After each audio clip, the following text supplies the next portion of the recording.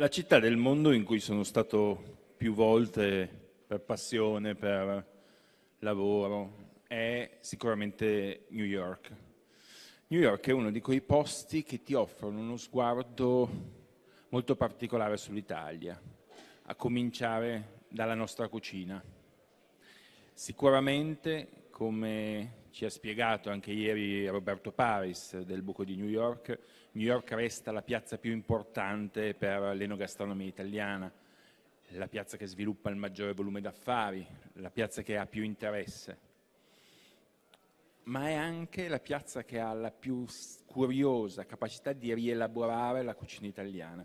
In qualche caso, tanto per farci subito dei nemici, come nel caso della carbonara o nel caso degli spaghetti alla bolognese, l'hanno rielaborata, ce l'hanno restituita e noi l'abbiamo fatta nostra.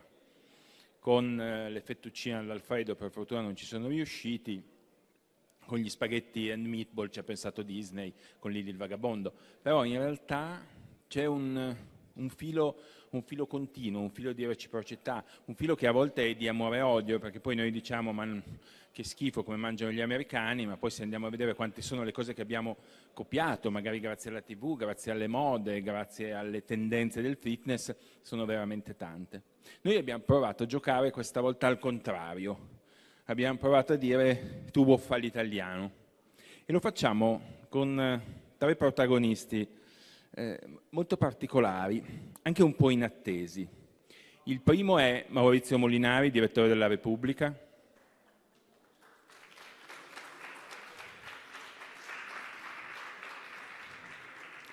che mi ha insegnato tante cose di New York anche in lunghe passeggiate nella, nella città che si addormentava. Luigi Diottaiuti, chef e patron del ristorante Al Tiramisù di Washington.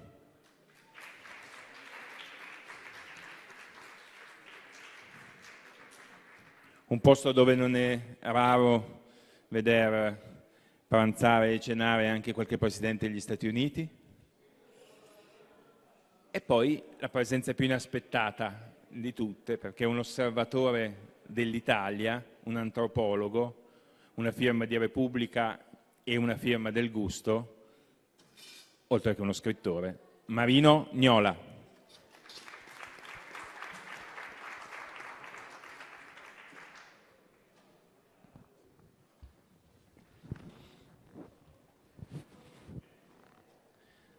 Se mi permettete comincio da Maurizio Molinari. Ma un romano di testaccio, appena arrivato a New York, cosa mangiava? Ricordiamo anche quanti anni ci sei stato.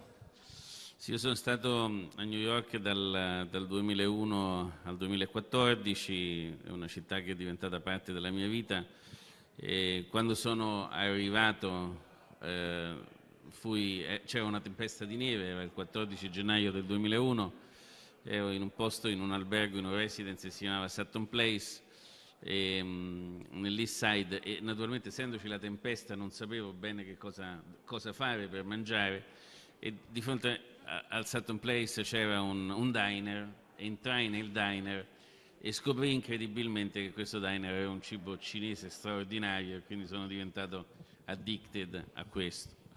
Eh, la, la, realtà vera è che in questi 14 anni a New York ho scoperto quanto in questa città il cibo descrive gli abitanti. Questo è qualcosa di straordinario, di avvincente in una nazione multietnica e multidentitaria come gli Stati Uniti.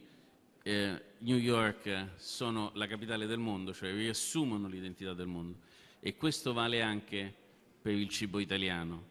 Eh, io stesso ho avuto bisogno di tempo per capire quanto le differenti tipologie di cibo italiano eh, che sono accessibili a New York descrivono la storia del nostro paese.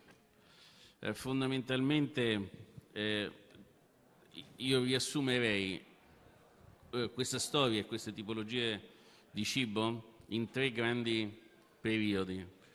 E, ehm, sicuramente la prima è quello che in generale gli italiani chiamano come il cibo italo-americano, che è frutto dell'arrivo dei primi migranti negli Stati Uniti, i nostri migranti arrivano alla fine dell'Ottocento in grandissimo numero, portano con loro eh, i cibi tradizionali lo, delle loro regioni, delle loro città di origine e via via con il tempo lo mischiano e lo sovrappongono con gli ingredienti che ci sono eh, a New York e negli stati vicini e soprattutto anche con le abitudini alimentari che assumono e fanno proprie dal, dagli, del, dagli, americani. Si crea quindi un mix eh, e, e, e, queste, e, queste, tribù italiane, che sono tribù campane, tribù siciliane, tribù venete, eh, fondamentalmente quindi traducono e calano i loro cibi nella cultura culinaria del paese. Ne escono delle, delle, de, dei piatti che oggi gli italiani non possono riconoscere come propri, ma che per gli italoamericani invece hanno un valore eh, fortissimo, identitario, la, eh, la parmigiana, poi ce ne sono tantissimi, però il punto vero è questo, quando uno entra in un, in un, in un um, ristorante italoamericano, non solamente nei quartieri di Brooklyn o New York, che sono quelli dove le comunità originarie ancora vivono in quel mondo, ma anche in alcuni eh, locali di New York, tutti immergi nel mondo di una volta, nella cucina di una volta, che attenzione in molte famiglie italoamericane ancora persiste come cibo italiano. Per noi in realtà è un cibo italoamericano. Questa è la prima dimensione. E, io, e questo tipo di cibo poi io qui parlo di fronte a persone che ne sanno molto più di me, ma io parlo so- semplicemente da cronista, questo tipo di cibo ha sostanzialmente tenuto eh, banco in, uh, a New York, eh, io direi fino agli anni Ottanta. Eh, l'esponente, l'esponente più rinomato, ma uno dei, si potrebbero fare molti nomi, sicuramente è stato Silvio Maccioni con le SERC, che ha trasformato il cibo italo-americano in un grande cibo di, di, di qualità a New York, ma era il cibo italo-americano. Quello che succede gli, negli anni Ottanta è che a Manhattan, a New York, arrivano gli italiani come noi, gli italiani di ultima generazione, che parlano il nostro italiano, hanno le nostre abitudini alimentari, hanno eh, i nostri punti di riferimento, guardano la televisione italiana, hanno, restano costantemente in rapporto con il paese che hanno lasciato, questi, chiamiamoli nuovi italiani di Manhattan e di New York, non hanno nulla a che fare con le famiglie italo-americane di prima, nulla. Parlano un'altra lingua, hanno un'altra idea dell'Italia, hanno altre abitudini alimentari, ma dove vanno a mangiare? Che cosa mangiano? E quindi arriva a New York un'altra cultura alimentare. E, via Quadronno, Bastianic, eh, San Domenico, eh, aprono locali, caffè, Sant'Ambrose, aprono eh, anni 80-90, inizio del 2000, aprono locali e posti dove gli italiani che arrivano possono mangiare esattamente come a Milano, Bologna, Roma o Napoli, con un livello di qualità, attenzione, che è assolutamente competitivo con la qualità italiana. Quindi ci sono, convivono nello stesso spazio umano a New York due tipi di cucina italiana completamente diverse ed è affascinante perché tu puoi passare da un ristorante a pranzo eh, dove si mangia la parmigiana come fanno gli italoamericani e ti servono il caffè con il limone perché così si faceva per quelli che arrivavano da, a bordo dei transatlantici e quindi avevano bisogno del limone per non rigettare e poi la sera invece vai a mangiare eh, da San Domenico eh, gli spaghetti a cacio e pepe esattamente come si mangia in Italia, anzi forse meglio. Questa capacità di New York di far eh, persistere realtà storiche diverse congelate nel tempo rende questo spazio umano assolutamente unico. Ma c'è anche un terzo uh, un, una terza dimensione, che è quella che ho lasciato, che era più avvincente quando nel 2014 lascio New York, si stava affacciando, poi è cresciuta molto, e, ed è la dimensione quando i cibi italiani, assolutamente italiani, ricordo ad esempio un ristorante eh, a New York che si chiamava la Tosca, adesso la Tosca sta a Washington, ma quando aprì eh, al Chelsea Market, dove praticamente tu hai piatti italiani ma con ingredienti americani. Cioè, ad esempio, invece del, del peperoncino, il jalapeno. Allora, quindi tu c'hai il piatto assolutamente italiano, con il sapore italiano, ma l'ingrediente è declinato sulla cucina locale.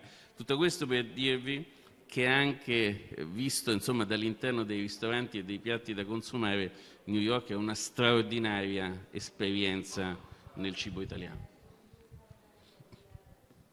Ecco, vedete come il cibo racconta le persone, come il cibo diventa un racconto antropologico, vero Marino? Grazie. Eh, sì, è proprio così, eh, come dice Luca e come diceva un attimo fa il direttore Molinari. Noi pensiamo di raccontare il cibo, in realtà è sempre il cibo che parla di noi e ci racconta le nostre mutazioni e in questo caso racconta proprio eh, la parabola del cibo italiano in America, negli Stati Uniti, ma non solo negli Stati Uniti, che il cibo italiano in realtà è stato pro- protagonista di una eh, piroetta gloriosa, io dico, che è durata più di un secolo, perché all'inizio del Novecento, quando con le prime migrazioni il cibo italiano non era amato, noi pensiamo sempre che l'Italian food sia un mito planetario, è vero oggi, ma non era affatto vero allora. Quando nel 1905 Gennaro Lombardi apre la prima pizzeria a Manhattan, ci vanno solo gli italiani, ci vanno i meridionali ed è così fino a metà del Novecento. Carlo Levi, in un articolo che il direttore conosce sicuramente meglio di me, uscito sul New York Times nel 1947, va in un ristorante lucano di Manhattan e, e scrive una cosa incredibile. Dice: Io sono, ero a Manhattan, entrato in quel locale, non ero più negli Stati Uniti, ero nella Basilicata che lui aveva lasciato da poco Levico, che è confinato, e dice mi sono portato apposta la citazione e quando conversai con il padrone al ritmo di una musica nera del jukebox, ritornai in spirito alle desolate e argillose lande della Lucania. Questo per dire come questi luoghi del cibo italiano fossero luoghi per gli italoamericani, per gli italiani. Ci andavano poco i newyorkesi, non so, ecco, andavano al Grotta Azzurra, sempre a Manhattan, per vedere Caruso mangiare gli spaghetti, perché non sapevano mangiarli. E Arthur Rubinstein, il più grande pianista del Novecento, raccontava che una sera Caruso si stufò di quell'attenzione indiscreta, buttò via la forchetta e si mise a mangiare gli spaghetti con le mani un gesto da miseria e nobiltà, macchiandosi la camicia, quella camicia macchiata secondo me è una grande bandiera dell'Italia gastronomica. Ecco, e poi via via è cambiato tutto, c'è, quella, c'è una specie di cesura di quella fase che è, è riassunta mirabilmente da un film di Scorsese, Italian American, che è un documentario in realtà che Martin Scorsese gira in casa dei suoi genitori e in che cosa consiste? Sua madre, Catherine, prepara le polpette e racconta, mentre prepara le polpette, la preparazione è scandita dal racconto dell'epopea italiana, dei migranti italiani negli Stati Uniti. Da quando il papà di Scorsese racconta si guadagnava un cent perché il sabato andavano ad accendere il fuoco nelle case degli ebrei che non potevano accenderlo di sabato. Un racconto meraviglioso poi invece comincia la fase nuova, una fase nuova che probabilmente è una cerniera proprio negli anni 50, quando per la prima volta nelle fiere campionarie americane le macchine per produrre la pizza superano le macchine per scaldare gli hot dog.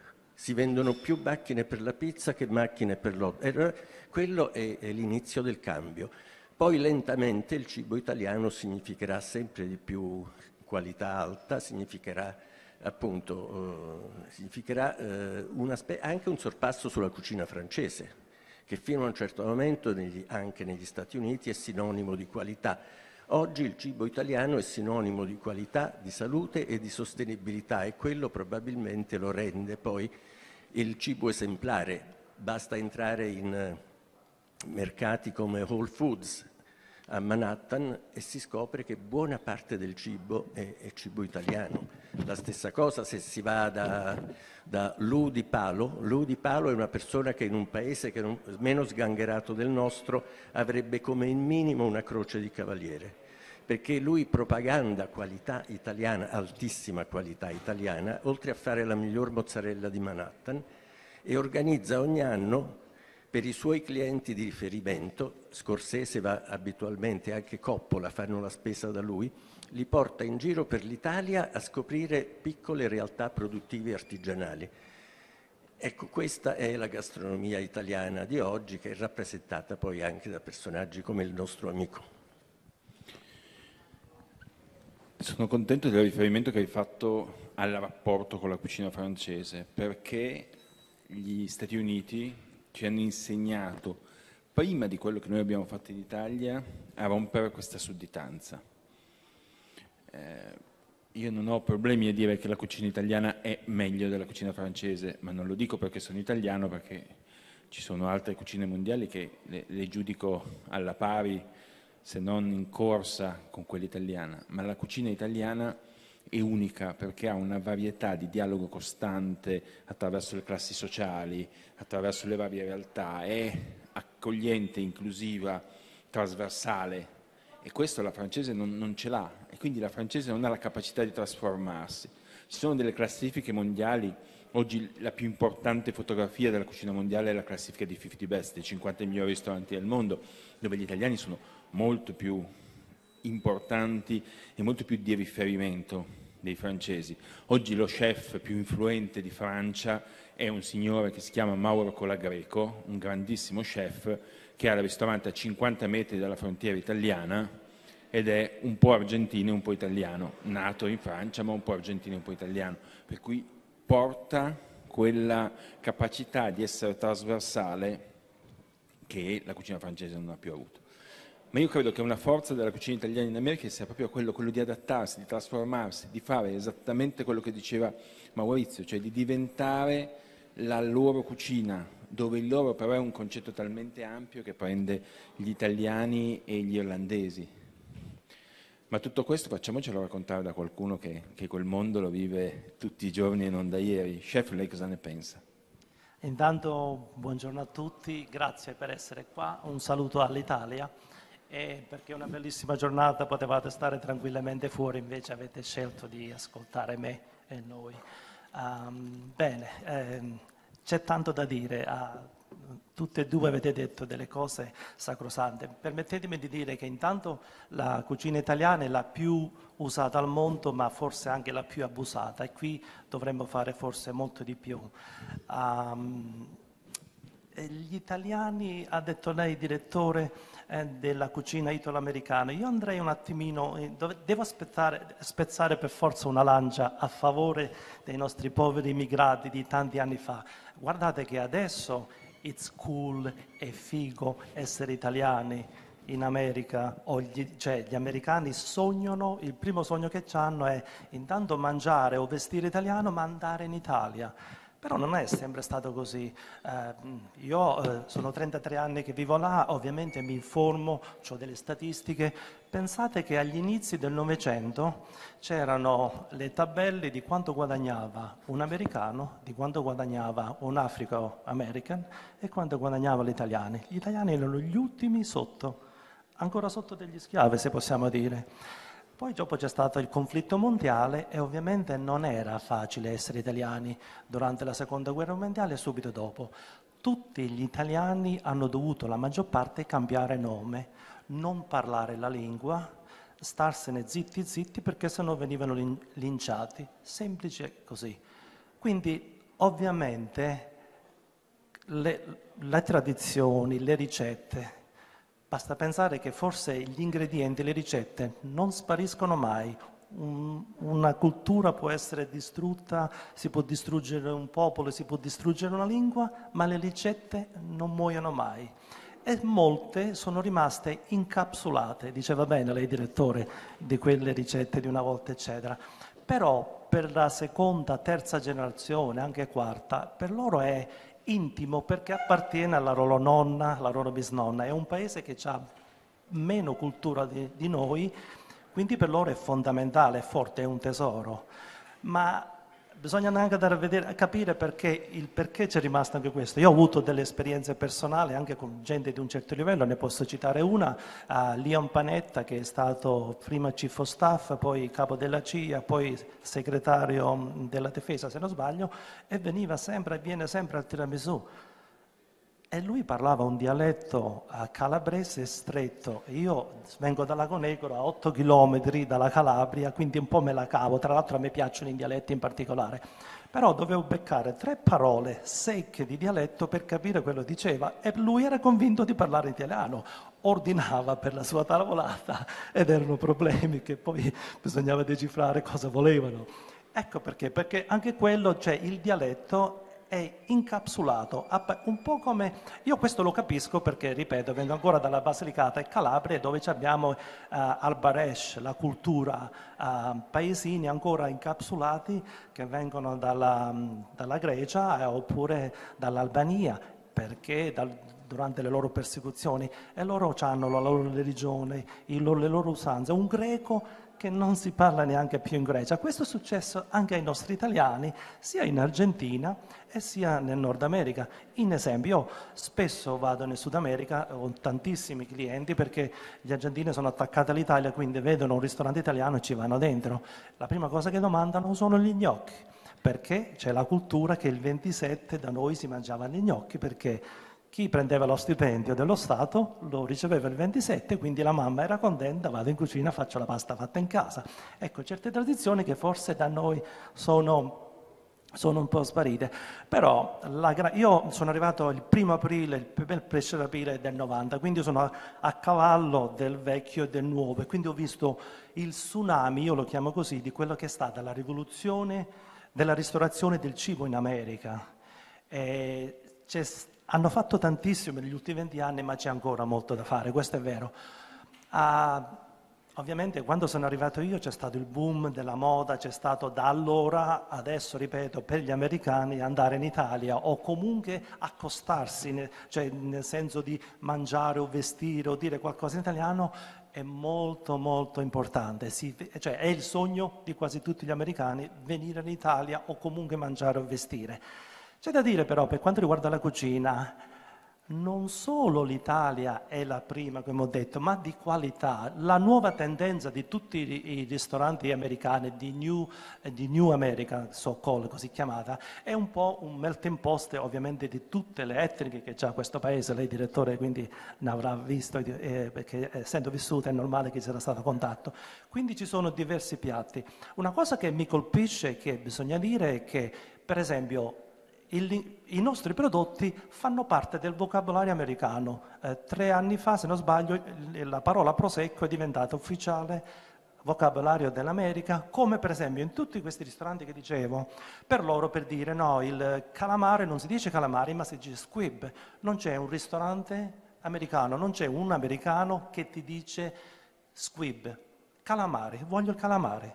Ecco perché in, nei loro ristoranti ci sono le parole che sono ormai ufficiali, sono mozzarella, eh, focaccia, burrata, pasta, eh, calamari, prosecco e tante altre cose che non c'è traduzione, è parte corrente proprio perché sono così usati tra, tra, loro, che è diventata parte della loro cultura, addirittura c'era una lotta che volevano che la pizza fosse naturalizzata di New York. Maurizio, ma quando tu in tutti quegli anni americani se ti capitava di avere nostalgia dell'Italia? C'era qualcosa che ti andavi a mangiare? C'era un momento gastronomico, un, un tuo modo di ritrovare l'Italia in quello che mangiavi? Assolutamente sì, io stavo nel, ero nell'Upper West Side e, mm, e sul Columbus 83, 83, 84 aveva aperto un, un ristorante senza insegne di un ragazzo italiano che faceva degli spaghetti al sugo straordinari.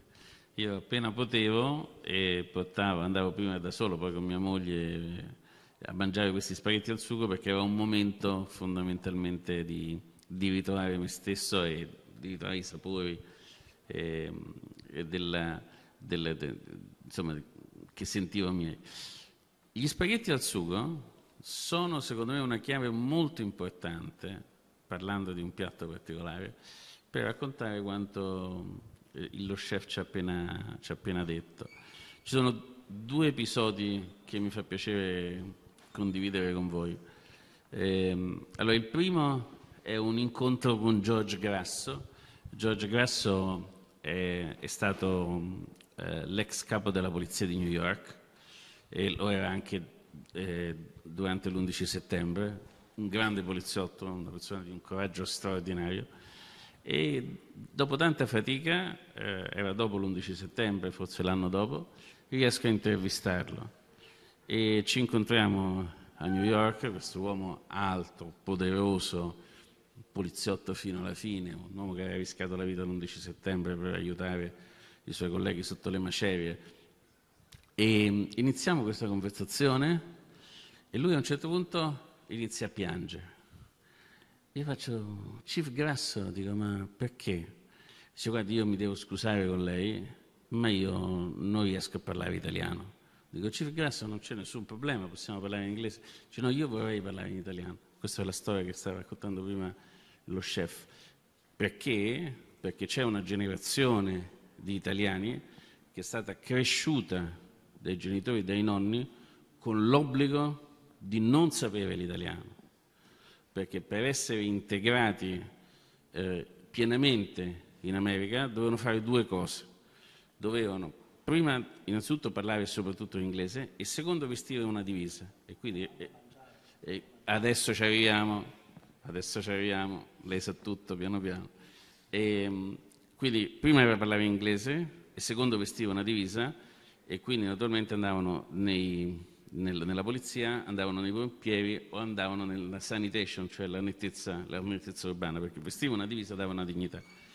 Allora io però in questa conversazione gli faccio, dico, ma lei allora, se lei non parla italiano, in che cosa consiste la sua identità italiana? E lui mi guarda e mi dice, in quello che ogni domenica a mezzogiorno noi mangiavamo a casa. Che cos'era? Spaghetti al sugo.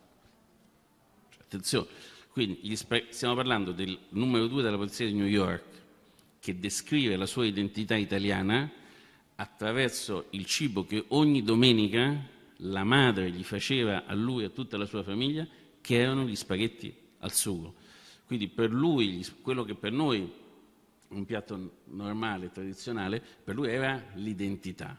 E questa è una cosa fortissima, la prima cosa che, il primo episodio. Il secondo episodio, sempre sugli, eh, sugli spaghetti al sugo. E, allora, come voi sapete, in America gli, gli italoamericani mangiano gli spaghetti con meatballs, ok? Quindi naturalmente questo è uno dei piatti invece con le, le, le polpette che appartiene alla tradizione italoamericana. Io dovevo fare un libro che poi uscì con il titolo Italiani in New York e quindi andai a, a esplorare in più quartieri del, del, di New York quella che era l'identità italiana. Nel fare questo naturalmente uno deve incontrare tutte le identità che ci sono eh, sul eh, territorio e eh, nel Bronx alla fine dopo un lungo corteggiamento ehm, accettò di incontrarmi eh, un personaggio molto forte da un punto di vista identitario di, quel, di, quel, di quell'area del, del Bronx, eh, che veniva da una città eh, della Sicilia, eh, diciamo, è uno di quei personaggi molto borderline, eh, che mi diede appuntamento nel suo ristorante a, alle 12 a mezzogiorno, io mi presentai e il ristorante era chiuso, era proprio fisicamente chiuso. Io naturalmente dico strano che questo mi ha dato lì, appena arrivai di fronte alla sala cinesca ci fu una persona che si presentò e mi disse lei mister Molinari non si deve preoccupare, mi apre la sala cinesca, io entro in questo ristorante assolutamente tutto perfetto, imbandito come se dovesse accogliere del, de, la clientela da un momento all'altro, tutto vuoto, cioè non c'era niente, non c'era nessun, niente, nessun essere umano, ma era perfetto l'uomo alla saracinesca richiude la saracinesca, io mi trovo da solo in questo e faccio, dico, adesso che si, fa? che si fa? Parlo con l'unico essere umano che ho visto, dico, questo è un posto bellissimo, sono solo. E così fa, dice, guarda, lei vede alla fine, alla fine, alla fine del corridoio, in fondo alla sala, c'è una porticina sulla destra, lei prende la porticina e scenda. Io prendo la porticina e scendo, e scendo in questa e, e, e, capisco che sto andando verso la cucina. Fino a quel momento non ho incontrato nessuno, attenzione, nessuno. Scendo, arrivo in questa cucina grandissima dove ai fornelli c'è un'unica persona, il proprietario. Lui, da solo, che aveva un grembiule con un tavolo da cucina con due sedie per me e per lui, e lui stava cucinando faccio, dico, guardi, mi fa piacere conoscere, finalmente la incontro. Dice, guardi, lei si mette seduta e adesso cucino io quello che io ho deciso. Dico, guardi, va benissimo. Che cosa stava cucinando? Gli spaghetti al sugo. Una roba piccanti. E mi dice, guarda, non sono gli spaghetti con meatballs, ma siccome io e te siamo italiani, io ti cucino questo e cucino io, mi disse, cucino io per te un messaggio di una forza, di una potenza tribale, mastodontica. E quindi quando sento parlare di spaghetti al sugo, per me New York diventa una cosa insomma, vissuta. Ecco. Marino, ti ho visto annuire talmente tante volte che non posso non darti la parola come seguito a quello che ci ha raccontato Maurizio. Beh sì, perché quello che ha raccontato il direttore è, è proprio tribale, come dicevi, perché dà l'idea proprio di che, eh, di che cosa è un piatto di spaghetti al sugo per gli italiani, è un cibo totemico, vero e proprio, è quello che mi consente di essere italiano e che forse proprio per questo è diventato poi un piatto amato non solo dagli italiani. C'è un'indagine Oxfam del 2012 condotta su 160 paesi ha dato questo risultato. Il piatto più gradito del pianeta sono gli spaghetti con il pomodoro e basilico. Forse per la loro semplicità, per questa specie di equilibrio e anche per questa arte di rendere nostra qualcosa che non è solo nostra, perché se voi ci pensate, gli spaghetti col pomodoro e basilico, che sono le, uno degli emblemi, l'emblema gastronomico, l'emblema identitario dell'Italia in cucina, sono un piatto che mh, mm, sarebbe stato impossibile se dall'America non fosse arrivato il pomodoro. Quindi vuol dire che l'identità è sempre una forma di contaminazione perché se noi non ci fossimo contaminati con i prodotti americani, con le patate, con i peperoni, con i pomodori, pomodori e peperoni sono un, un 1-2 di Cristoforo Colombo che porta tutti e due insieme. Eh, la nostra cucina sarebbe veramente ben poca cosa, neanche i fagioli avremmo, perché anche i fagioli sono americani. Il, quello che i romani chiamavano faseolus non era il fagiolo che noi oggi facciamo con la pasta e con la colatura di alici, sempre per complicare le cose. Quindi da questo punto di vista il racconto, il racconto del cibo è sempre un racconto di identità, perché quando noi parliamo di cibo stiamo parlando di noi stessi e quando rifiutiamo un cibo la cosa si fa inquietante perché non stiamo rifiutando solo un cibo, stiamo rifiutando anche chi lo mangia insieme al cibo. Ecco perché oggi questa tribalizzazione dei consumatori, questa tribalizzazione della società a causa delle diete, del diffondersi di diete che in realtà sono de, delle, delle, religioni secolarizzate, no? dei precetti eh, vegani, vegetariani, crudisti e potremmo fare un elenco che dura mezz'ora, sono altrettante visioni del mondo, somigliano molto alle sette dei primi secoli del cristianesimo, dove ci si combatteva attraverso il cibo e, e quindi si affermava la propria identità rifiutando il cibo degli altri. Quindi c'è sempre no, il, il famoso detto di Feuerbach, noi siamo quello che mangiamo o l'uomo è quello che mangia. Oggi molto spesso è vero il contrario, siamo quello che non mangiamo, tant'è vero che quando andiamo a comprare i cibi leggiamo le etichette per sapere non quello che c'è ma quello che non c'è e ci rassicura sapere che non ci sono delle, certe cose, lo zucchero, eh, l'olio di palma e così via, il sale, l'opposto dei nostri genitori che invece quando compravano, dei nostri nonni soprattutto, quando compravano un cibo volevano che ci fosse di più, era un, un'addizione alimentare, più panna, più burro, più vitamine, più tutto.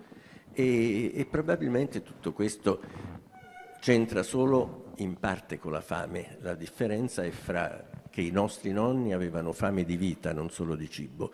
Noi della vita abbiamo un po' paura e riversiamo questa paura sul cibo, che comunque nel bene e nel male resta l'espressione più forte dell'identità, sia dell'identità che della differenza, perché poi non c'è identità che non sia differenza, ma se ci pensiamo bene, se facciamo un'analisi di noi stessi spassionata, ci accorgeremo che la nostra identità è fatta soprattutto di differenze, di cose che vengono da un'altra parte, che sono state adottate e sono diventate più nostre.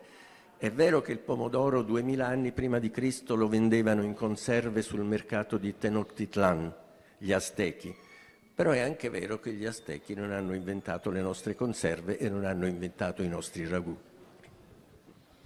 Un applauso per Marino.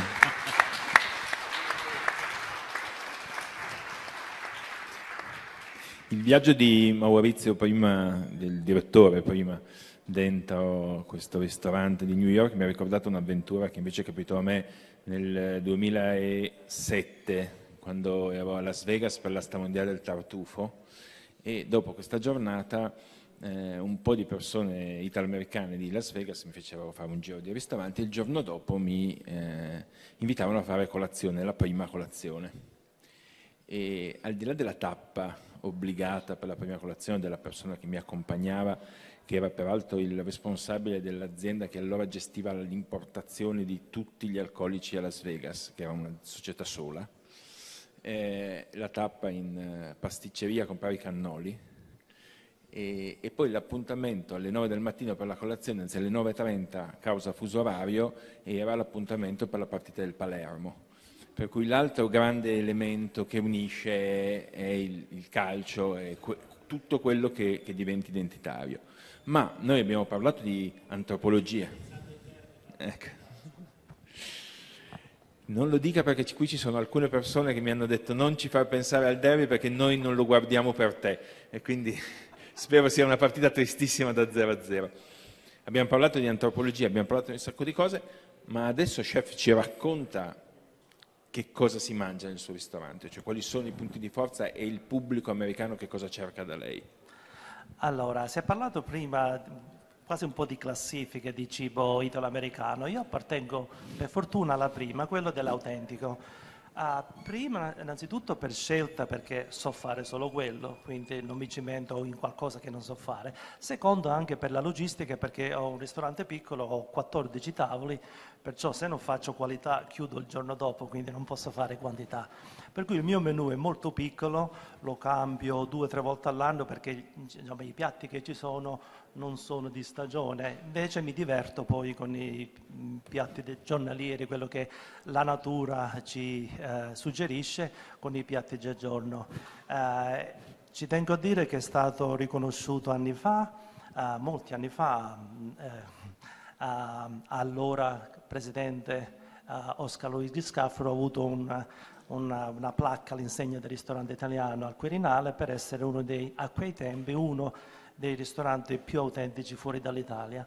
Lei prima ha menzionato anche la guida dei top 50, con un pizzico di orgoglio devo dire che il tiramisù è stato premiato, anche su quello eravamo al 42 posto, però devo dire che io qualsiasi cosa che faccio non la faccio mai perché, ah, magari andrò in quella guida, magari andrò, che ne so, nella Michelin, eccetera. Lo faccio perché è nella mia natura, nel, credo a quello che faccio e il mio ristorante accoglie, è piccolo, è così, eh, il problema è come far uscire la gente perché sta comoda, è basso, quindi dà un che di intimità.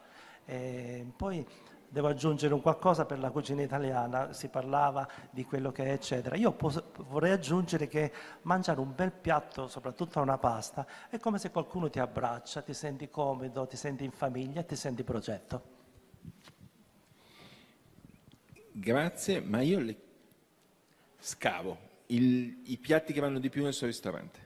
Beh, allora, intanto importo tanto pesce, quindi per me ho la fortuna che 18 ore dopo, 20 ore massimo, ho i branzini, orate, rombi, eh, quello che il mare Mediterraneo ci dà. Quindi... Direttamente dal Mediterraneo? Sì, assolutamente sì. Molti vengono dal, come si chiama, dal, dall'Argentario, come sappiamo il mercato centrale è Milano, quindi arrivano sull'aeroporto di Filadelfia e poi arrivano sulle piatte di Washington. È bellissimo a volte avere queste casse sigillate ancora sporchi con, con, il mare e c'è scritto sopra tiramisù, già sanno dove va la destinazione, quello che è la tecnologia di oggi.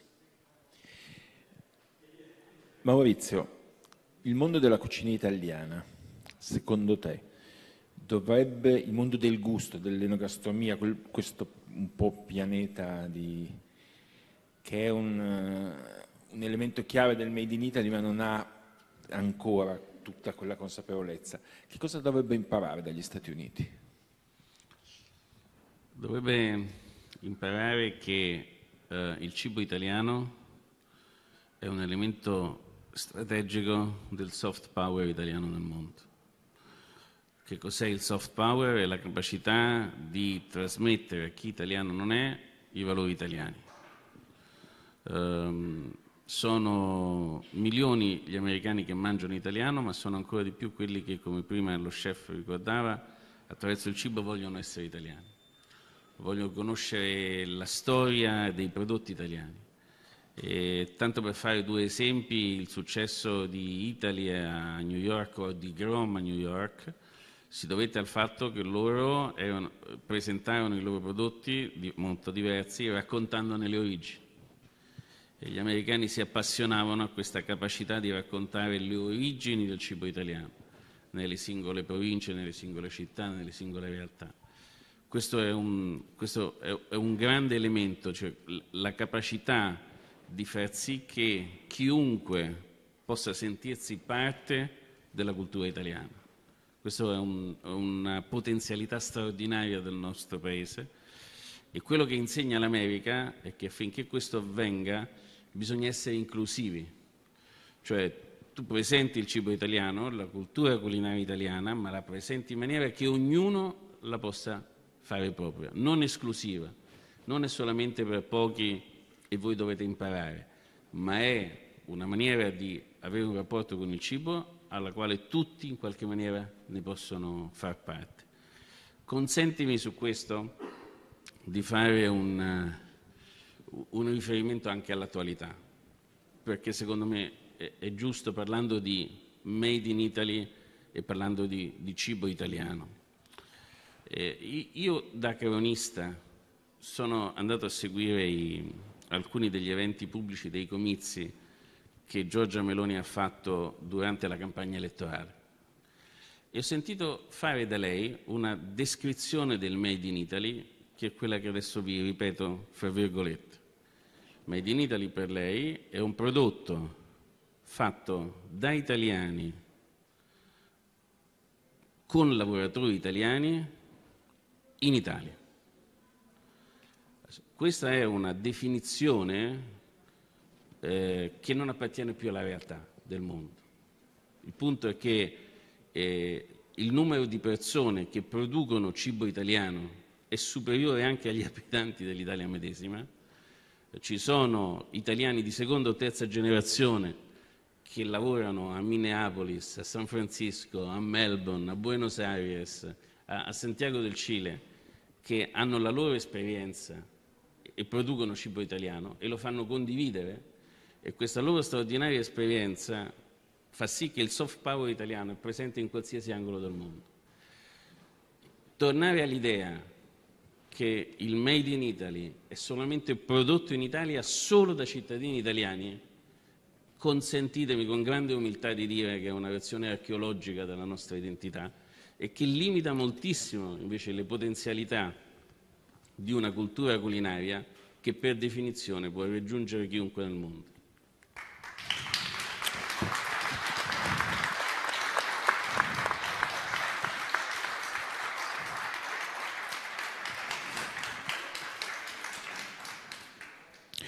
Il direttore ha appena toccato uno dei temi chiave, delle linee di guida e di narrazione chiave del gusto.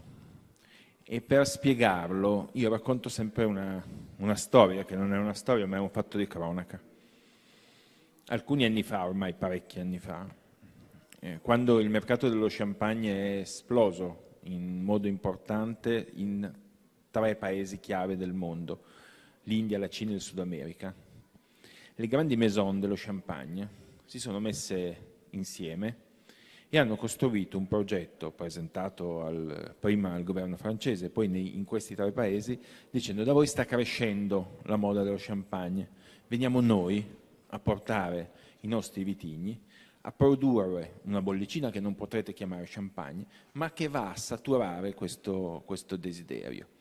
Per cui cominciato, sono cominciati a uscire in alcuni posti del, del pianeta, la Cina, l'India, il Sud America, degli, dei prodotti simili allo champagne, ma che andavano a incarnare, a seguire il filo di una cultura.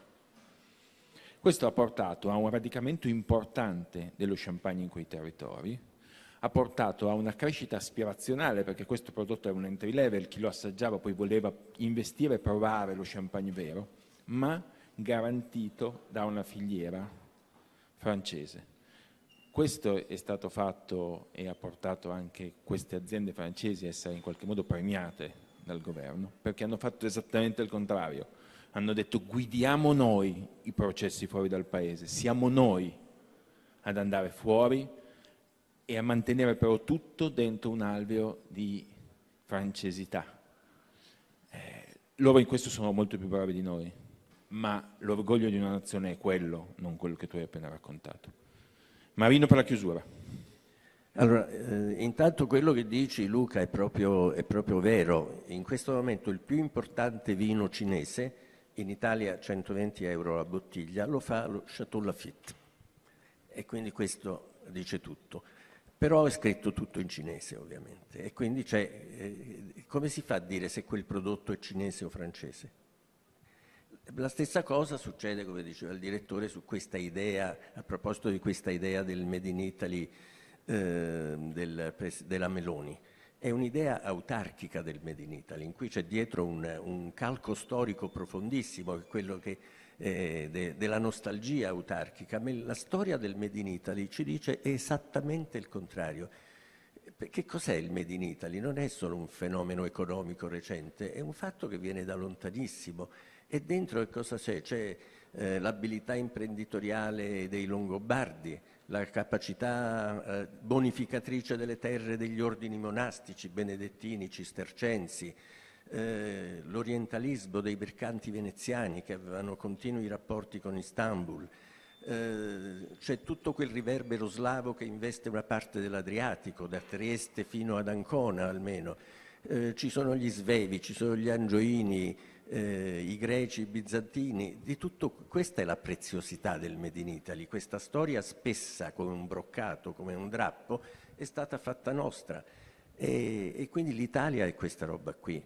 Il fatto che l'Italia sia un paese fatto di nazioni, ogni pochi chilometri si cambia nazione, è anche la ricchezza di questo paese. Siamo come il mantello di Arlecchino, a tavola e non solo a tavola, perché siamo uniti dalle differenze siamo diversi, ogni cosa, ogni piatto in Italia parla di paese, parla di provincia, parla di famiglia. Il carré con i crauti fa una la Germania, da Monaco fino a Kiel. Eh, le fritte eh, con, eh, eh con, la carne, con la bistecca, eh, sono la Francia. E, e invece la pasta neanche la pasta riesce a fare gli italiani, ma questa è la nostra ricchezza, questo è il Made in Italy. Grazie, grazie a tutti.